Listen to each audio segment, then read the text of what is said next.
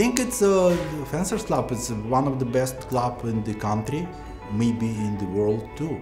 This is the best club, not just in the country. I think this is the best club in the world. Absolutely amazing environment, absolutely amazing people here. I love it. And now being one of the coaches of the program, the Peter Westbrook Foundation and the Prentice Club, I kind of still can't believe it, but it's um, it's been great.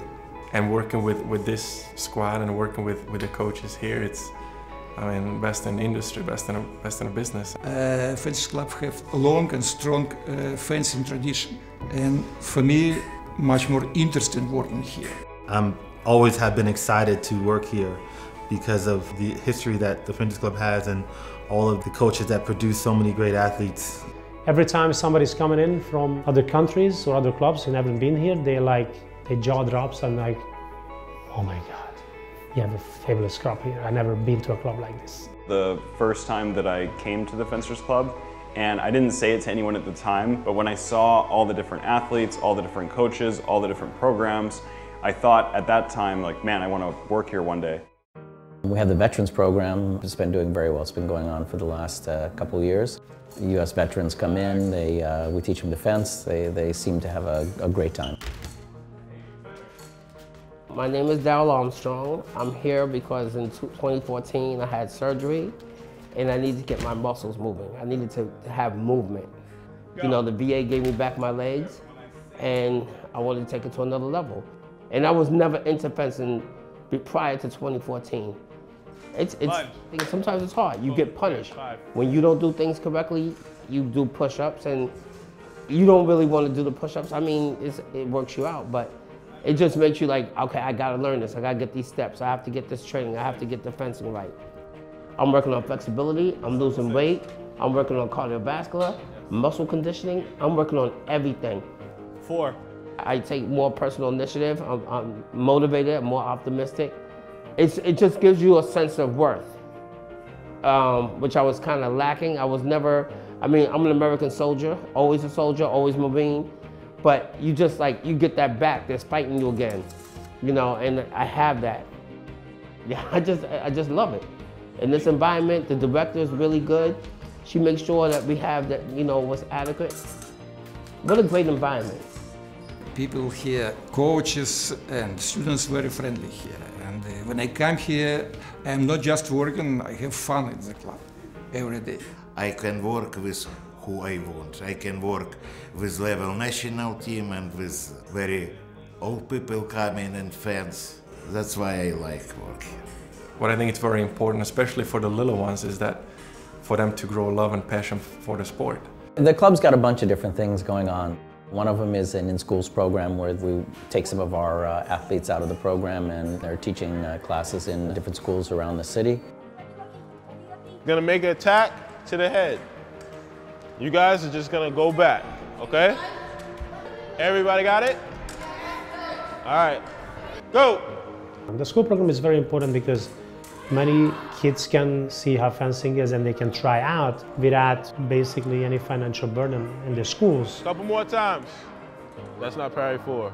Because Good. either the Ready? club provides equipment and Go. everything or the school itself, so the kids don't have to buy equipment to try this out. And if they like it and they're talented, they can go on and then can fence.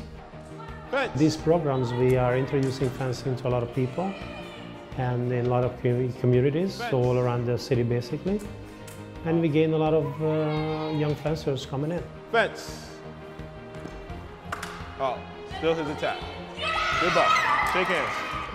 Five, three.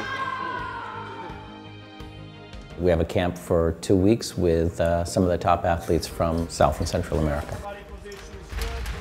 Upper body straight. We have some épée fencers and some pro fencers here. Basically, FIE wanted to provide them a little bit of practice with this training camp because on their own countries they don't have too many fencers. It's a very strong group. Uh, one of the athletes qualified for the Olympics already from the rank list. The other athletes are kind of getting prepared for their zonal competition. It's a very good group. So straight attack in foot tempo. A good uh, six, seven, eight hours of different kind of fencing related activities they have here.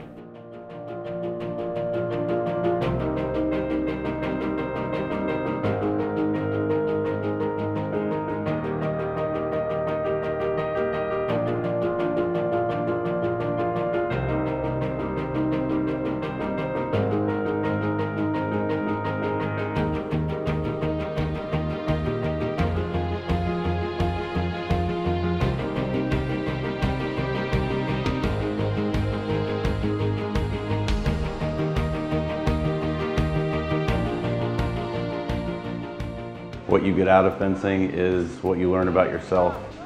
You know, dedicating yourself to achieving a goal, working hard towards it, uh, learning how you respond to certain stressful situations, uh, overcoming obstacles, those kinds of things, things that you know prepare them for the rest of their life. But I really enjoy working with younger kids and seeing them, you know, progress over larger span of time. We have a lot of different goals as coaches. One is to help kids get better at fencing, to give them an opportunity to do a sport, to help make them self, more, a little more self-reliant, a little bit more confident. And then there's the competitive goal. So when you reach the Olympics, that's really the peak. That's what we're looking for, to have uh, Olympians and hopefully have good results at the Olympics. In combination with the idea that we're going to have good students who are going to go on to fencing college or kids who just enjoy, enjoy the sport. I like atmosphere. So uh, I like the freedom. They can I run my own program and make my own decision. How do I run classes? How do I give lessons? How just what I'm doing with my students. My own program can improve my students and improve myself. Fencers Club and the system of Fencers Club give me these opportunities for improvement and so to realize my program. I love coaching here at Fencers Club. Um, the atmosphere is, is great. The coaches are all experienced. I learn from them. I work together with my wife, Irene Gershon. When people come, we try to understand motivation, goal, what they want. And set short-term goals and long-term goals, not depending on their age, their level, uh, their commitment, of course. To make Olympics and do some international results. As a kids, just want to get to fence and varsity team. And we want to produce uh, good uh, athletes who can be at the Olympics. That's the, the goal. Miles Chem Watson, this is first champion of the world. 2013, this is my student. Well, working with Ibti has been a pleasure. Always knew that she had the skills and the athletic ability to become an Olympian. Fencers Club different uh, because does not matter. You are president or you are taxi driver everybody has same suit and everybody can fence. Different kids they uh, they meet each other they open up a little bit. Some of them is very tense they come in they not they very shy they don't speak they and little by little they see they open up they start smiling they do something for them in their life it's i think it's very very important. You make good friends you you can find yourself in uh, different uh, aspects of uh, life. For me, interesting not just fencing. For me, interesting how my students grow up like a person, not just like a fence, strong fencer, just also like a person. How they study in school, how they fence in the clubs, everything all together. You know, hoping to make the cadet or junior national team, and then also you know, they're hoping to get into a good college. It's one of the advantages of being in New York City is that a lot of our fencers end up going to Columbia or a school that's local that we can continue working with them for a long time. I can tell my student, enjoy and have fun. This is impossible to tell in Soviet Union team, what does it mean fun? You must win, that's it. this is uh, I like it. The first location that I started in was uh, 71st Street. And in that club, there was no more than five or six strips, you know, and somehow we made it work. And then we moved to 25th Street, where there were more strips, you know, and now we're here in this location. So to move again and to see where we're going to be is um, exciting for me.